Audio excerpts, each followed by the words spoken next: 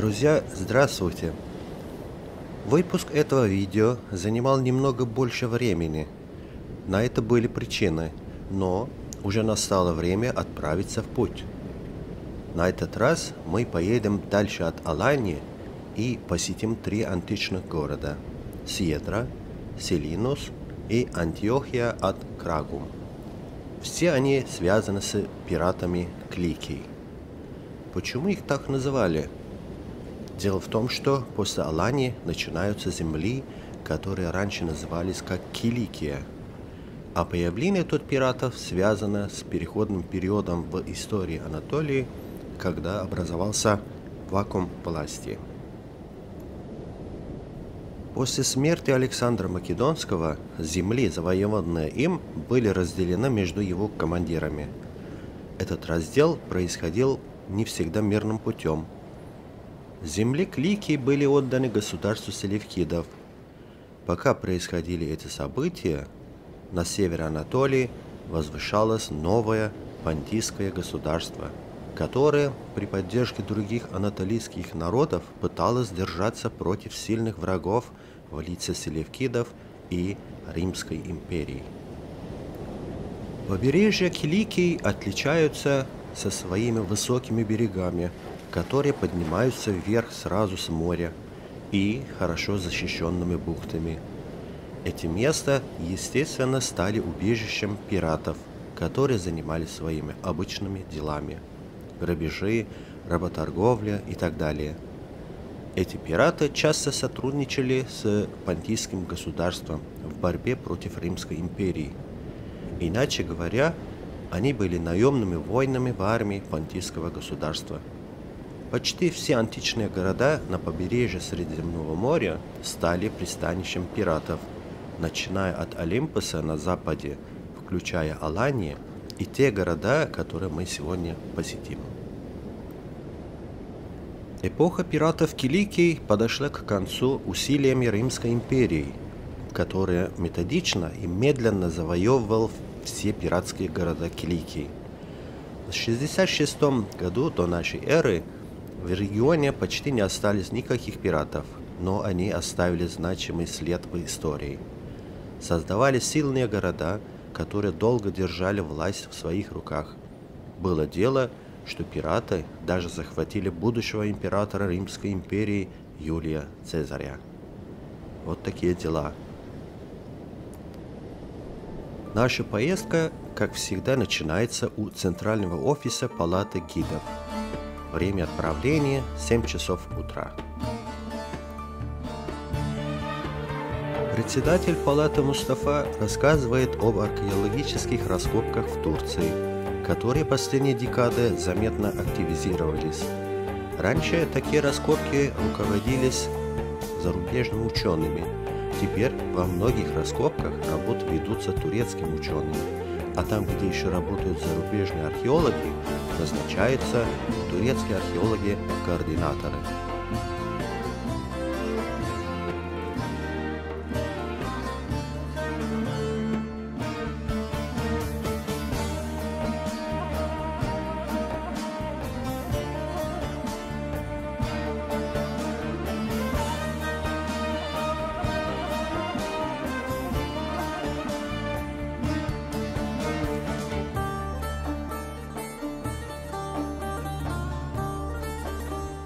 Оставляя земли Памфилии, мы двигаемся вглубь Киликии.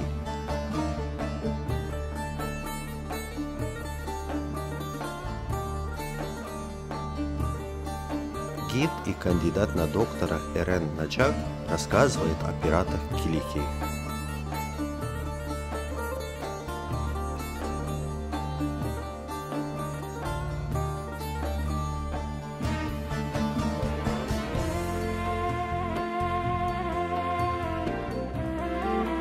Выезжаем в Аланию. На этот раз не будем останавливаться, ибо наша цель – античный город Сьедра, который находится дальше от Алании. Проезжая Алания, мы вспоминаем, чем славится она. Конечно, прежде всего это бананы. Сорт бананы, свойственный Аланье, получил географический знак в 2022 году. Они были четвертыми по счету. Первым был авокадо, на втором месте суп гюлюклю, а на третьем месте мушмула. Все они имеют географические знаки, то есть место происхождения этих продуктов официально фиксируется и признается. Добро пожаловать в край, где некогда правили настоящие пираты, пираты Киликии. В античном городе Сьедра идут раскопки, и он пока еще не знаком многим. Сьедра находится на высоте 400 метров над уровнем моря, и подъем в город напоминает полет на самолете. Подъем на автобусе был трудным заданием для нашего водителя Эрдема. Он показал высокий профессионализм и на подъеме, и во время спуска, так что ему отдельная благодарность. Вокруг одни плантации известного аланийского банана. В пути мы замечаем специальную канатную дорожку для транспортировки банана. Шутливо называем ее банановой канатной дорогой.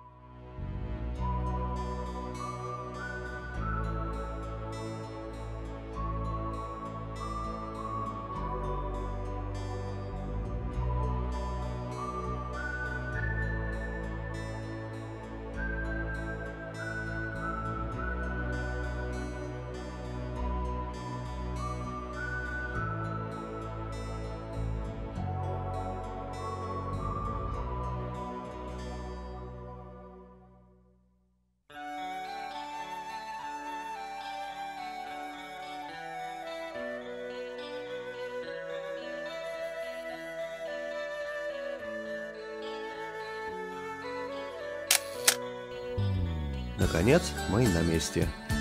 Но еще будем пешком подняться.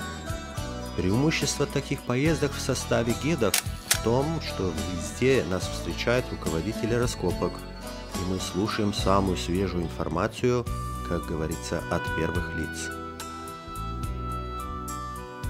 Доцент, доктор, руководитель раскопок в Сиедре Эртук Эргюрер рассказывает, как они обустраивают маршруты – чтобы люди могли удобно гулять в городе. Планируется строительство кафе, общественного туалета, более вместительной автостоянки.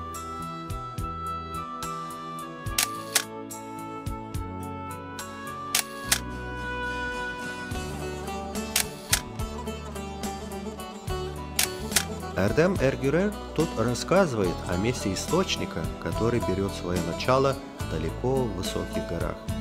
Вода собирается в больших цистернах и подается в город.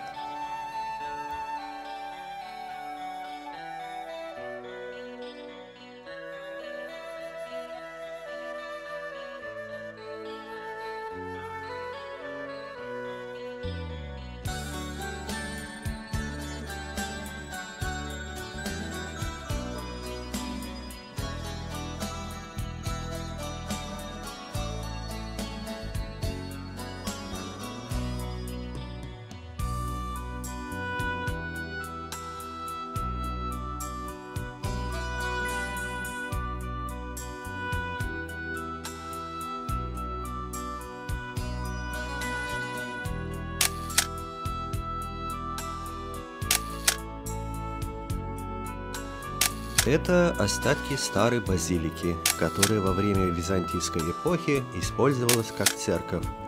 Краски на стенах где-то сохранились удивительным образом.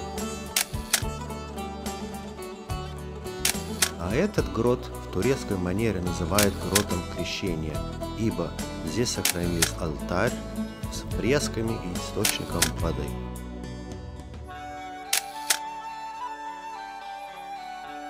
До верхнего города надо еще подняться на древних лестницах, которые были освобождены от земного плена недавно. На определенном месте открывается великолепный вид на Аланию.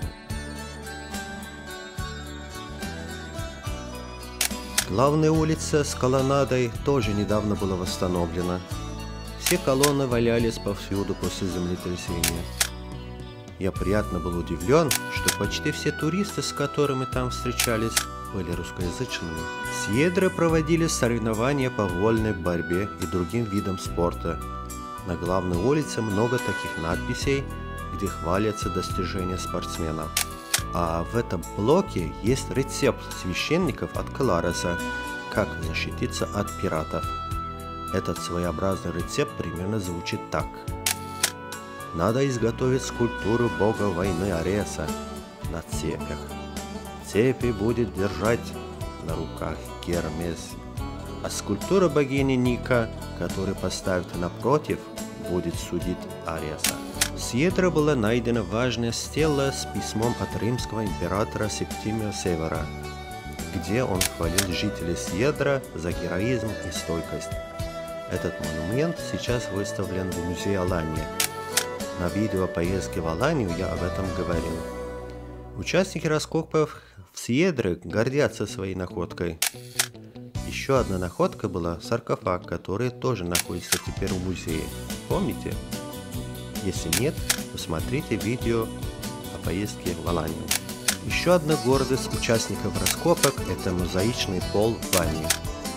Хоть немного потрепанный, но на полу можно увидеть великолепные картины из жизни Геракля, как он выполнял 12 заданий. Символ свастики в трехмерном исполнении особенно мне понравился. Как все знаем, свастика – древний символ круговорота жизни и солнца. Как уже говорил, в Сьедре раскопки еще продолжаются, в общем, этот античный город мне понравился, и я сюда еще вернусь. До свидания, Сьедра.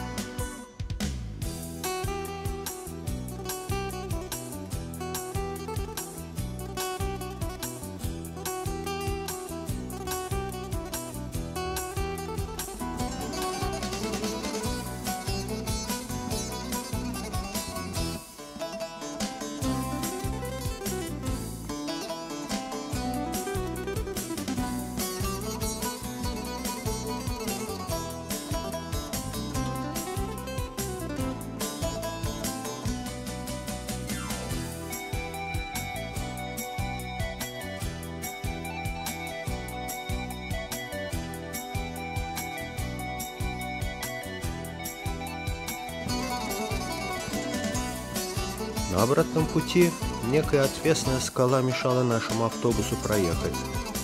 Пока наш водитель ловко и спокойно маневрировал, многие были в панике и кричали, что автобус вот-вот врежется в скалу. Но все обошлось благодаря мастерству водителя Ардема.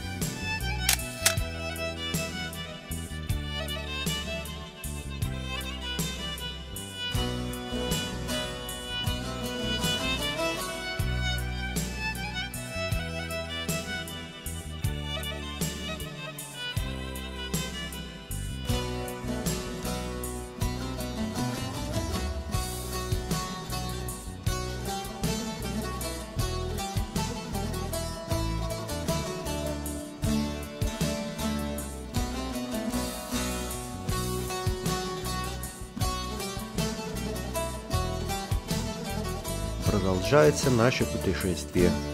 Следующий пункт пути – это уезд Анталии Газипаша. Перед тем, как ехать в следующий античный город Селинус, мы посещаем ботанический сад муниципалитета Газипаша и делаем остановку на обед.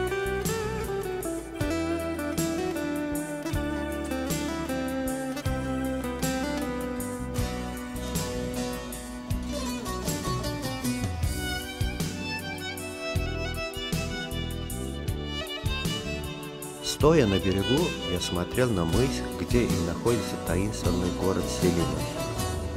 Там пока археологические раскопки не начались, поэтому об этом городе информация есть только в письменных источниках. Селинус тоже прошел все этапы развития, как и другие античные города региона. Его история начинается с VI века до нашей эры.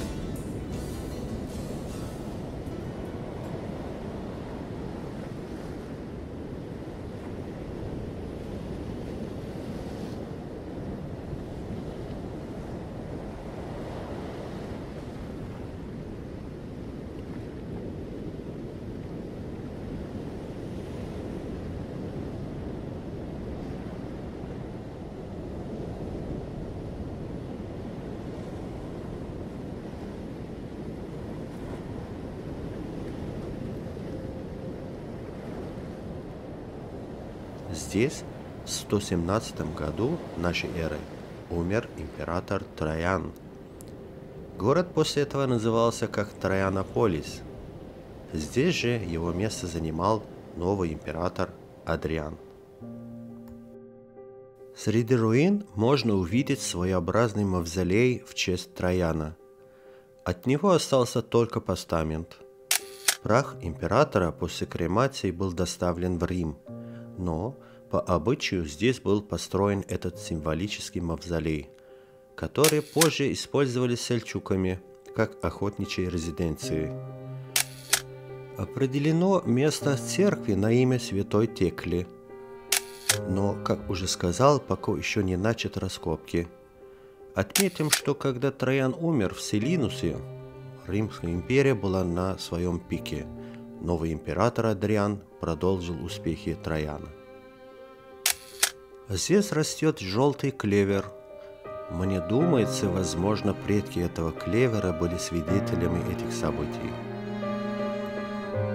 О Селинусе мы слушали рассказ от директрисы археологического музея Валания.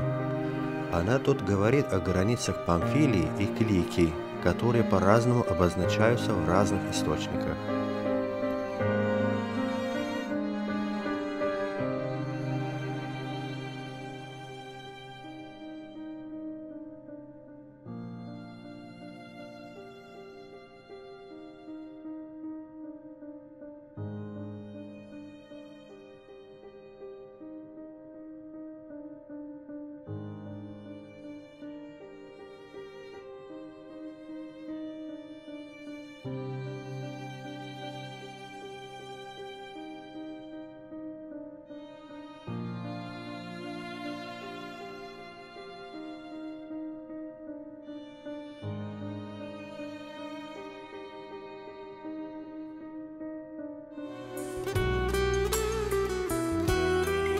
Покидая загадочный город Селинус, мы направляемся в конечную точку нашего путешествия. Последний пункт в нашем пути – это античный город Антиохия от Кракум.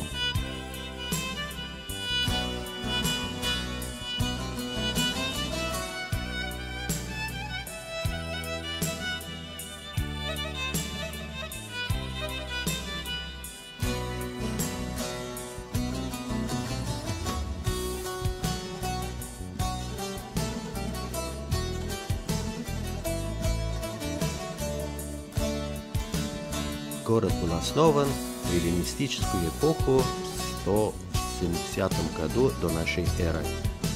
В XII веке город выходил в состав государства Малой Армении. Позже попал в руки рыцарей-госпитальеров. Антиохия от Кракум был важным центром православия. Начиная с Первого Вселенского собора в 325 году Епископы из Антиохии от Кракум принимали участие в обсуждении религиозных доктрин православия.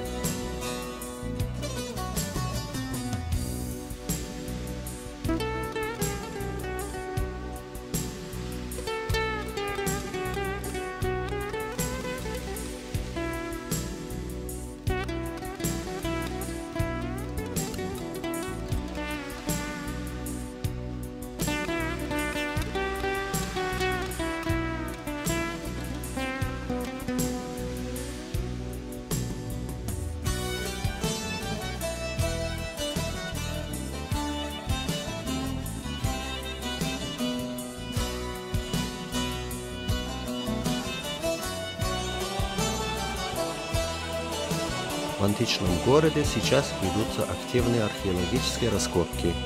Об этих работах рассказывает помощница руководителя раскопок.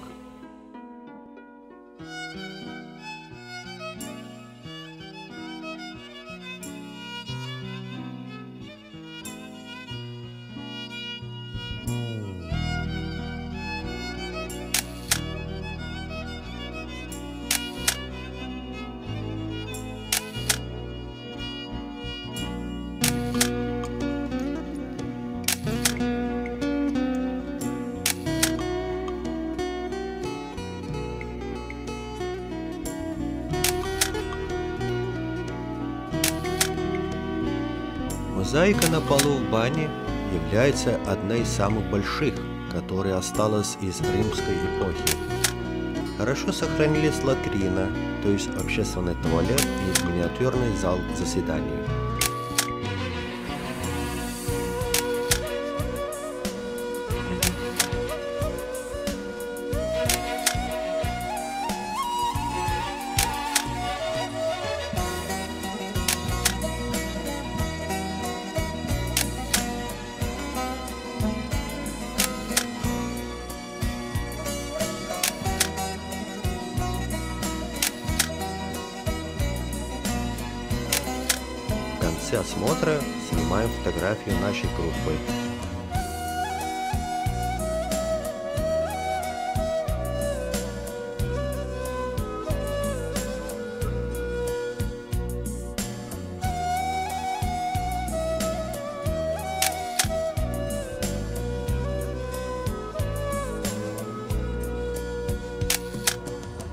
Конце видео, по обычаю, моя племянница итожит, в каких городах были и что увидели.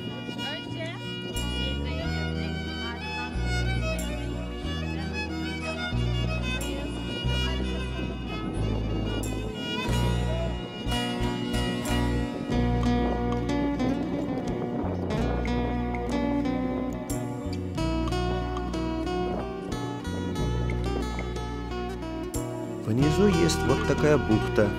Ее называют бухтой королей. Из-за нехватки времени туда не спускались. Фотография взята из интернета.